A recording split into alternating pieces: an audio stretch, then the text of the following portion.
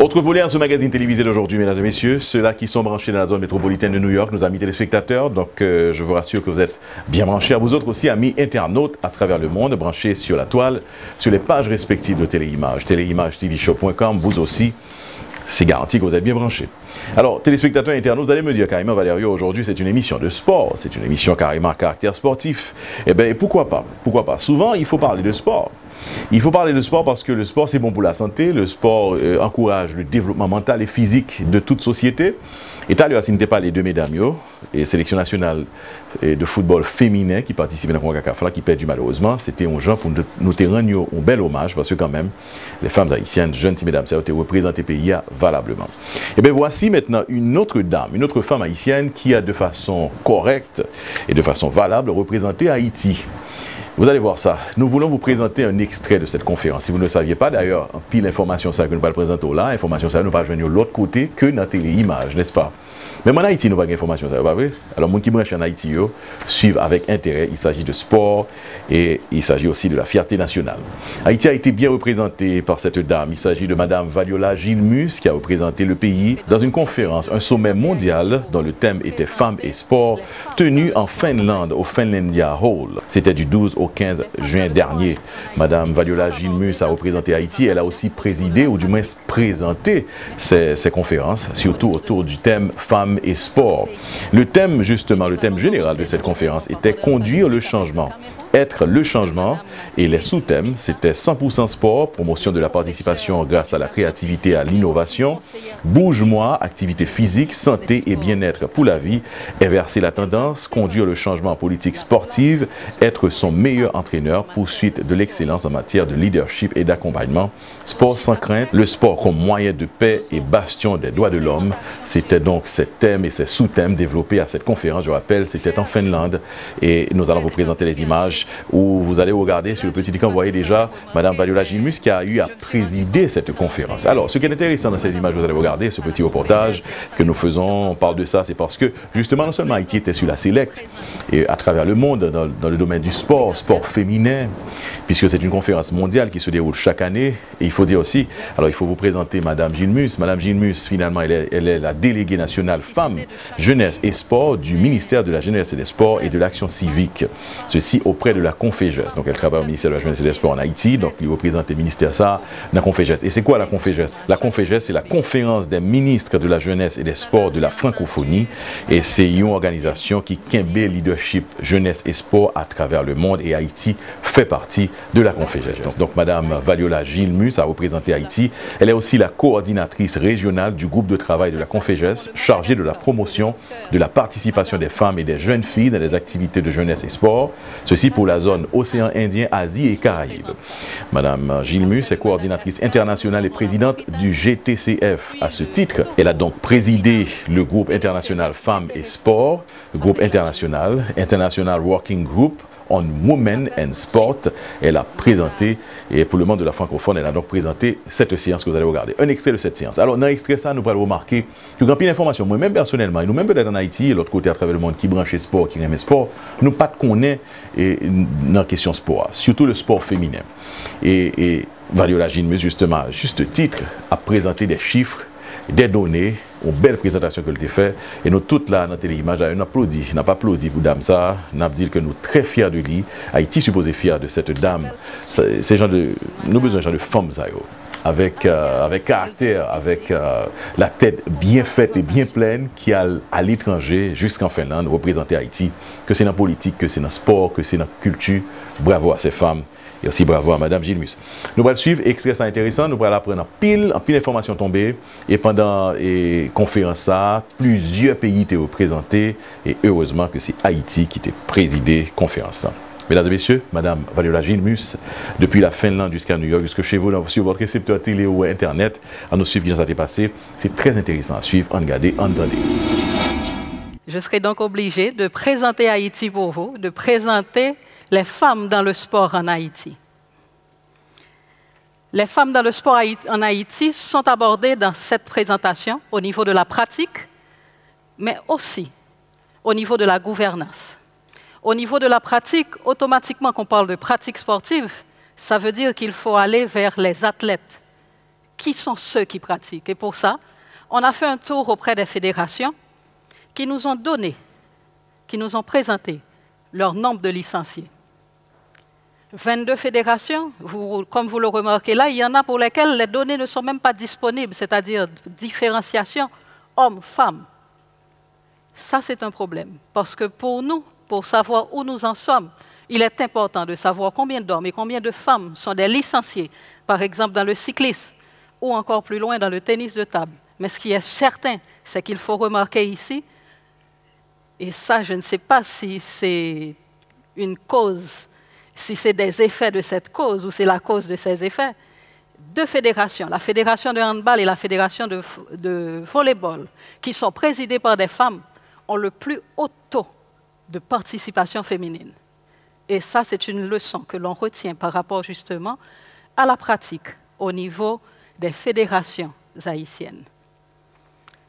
Quant à l'encadrement justement de ces jeunes, le ministère de la Jeunesse, des Sports et de l'Action civique fait des formations, organise des formations, que ce soit au niveau des bourses qui sont accordées pour que des jeunes aillent se former en éducation physique.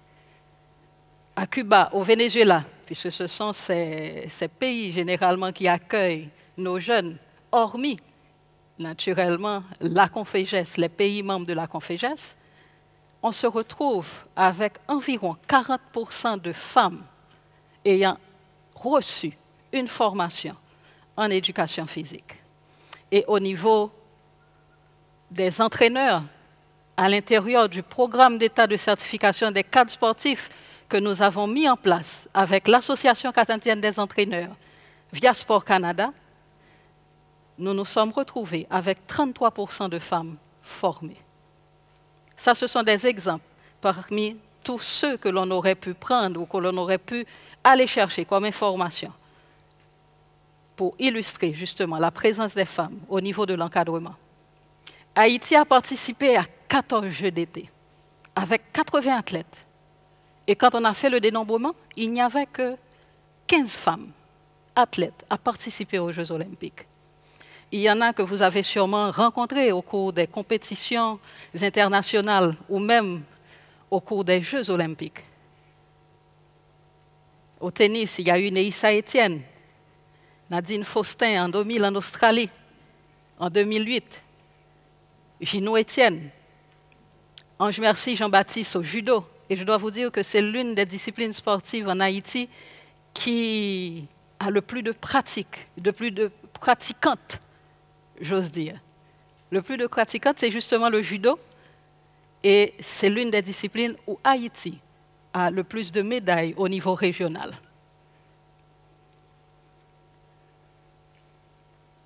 Vous savez ce qui m'a surpris un peu? Quand j'ai essayé de savoir combien de journalistes femmes actives qu'il y avait en Haïti, je me suis retrouvée avec cinq.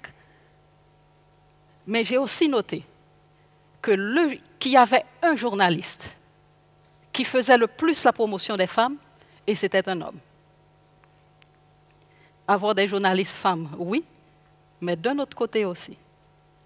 Il faut qu'elles soient sensibilisées et qu'elles puissent faire passer le message justement pour la promotion des femmes dans le sport. Au niveau de la gouvernance, je l'ai analysé au niveau, à trois niveaux, au niveau du ministère, au niveau de la, des fédérations nationales, au niveau du comité olympique haïtien. Au niveau du ministère,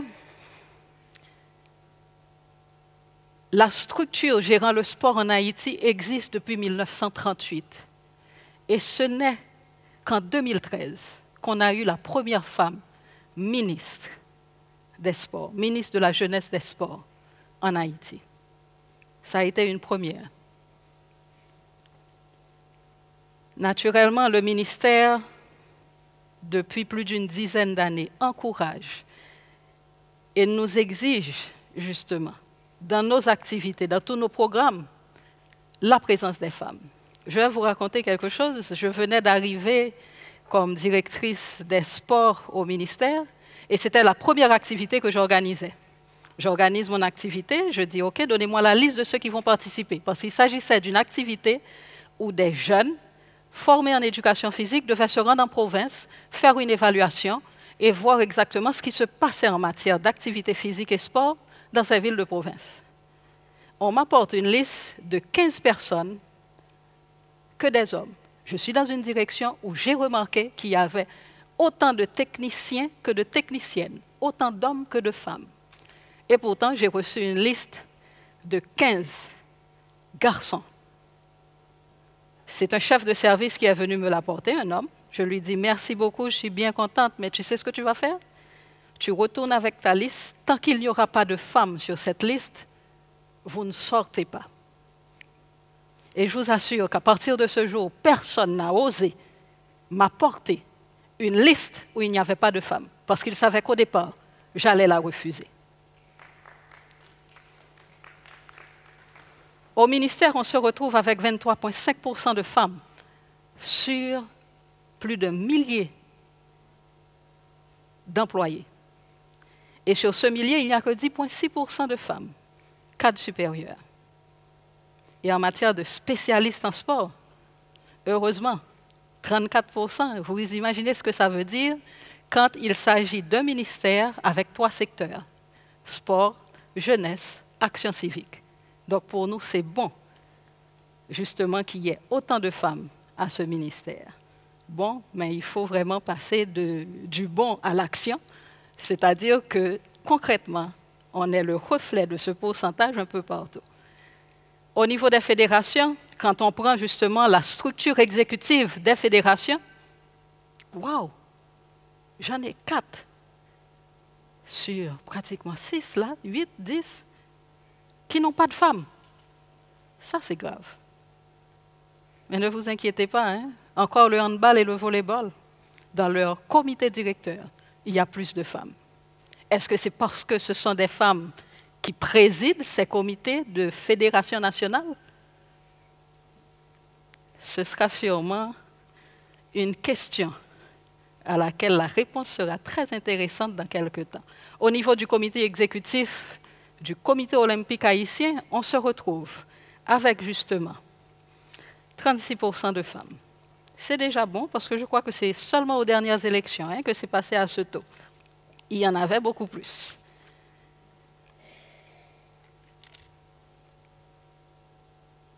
Je dois vous dire qu'en matière, en tout cas en Haïti, pour nous, femmes impliquées dans le sport, puisque je ne l'ai pas dit, il y a aussi un groupe de travail, une commission féminine au niveau du comité olympique haïtien.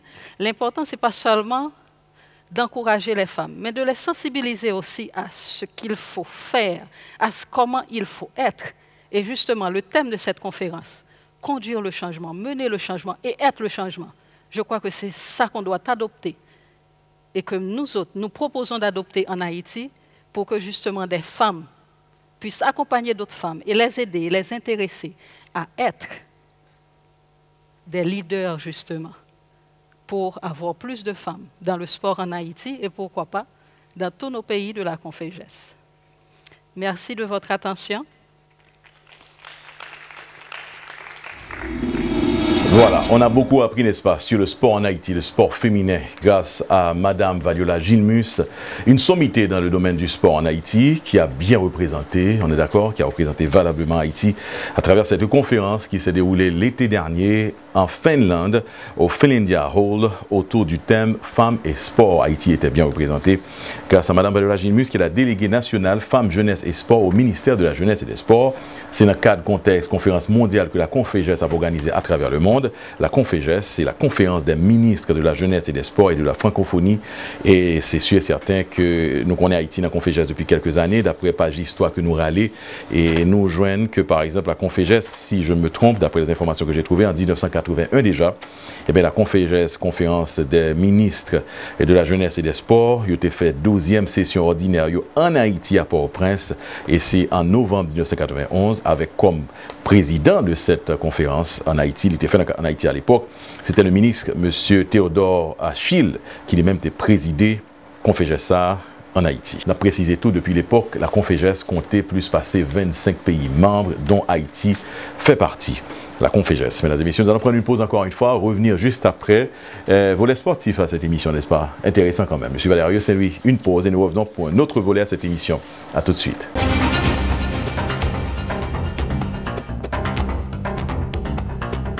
Ane sa, avantaj la se nan Kings Infinity ki nan Brooklyn nan liye. Gro avantaj, gro benefis pou komynoti Haitien la nan Kings Infinity. Depou ta gen intensyon achton machine brand new tout neuf ou bien pri on deuxième men se vin pou avantaj lan la. La nan Kings Infinity ki nan 20 Neptune Avenue nan Brooklyn, New York. Nan Kings Infinity kon gen bon kredi, kon gen mouve kredi ou so pa gen kredi mem, ou gen doa chwazon bel machin denye model Infinity jodi ala. E pou kondwil soti al lakay ou mem joua.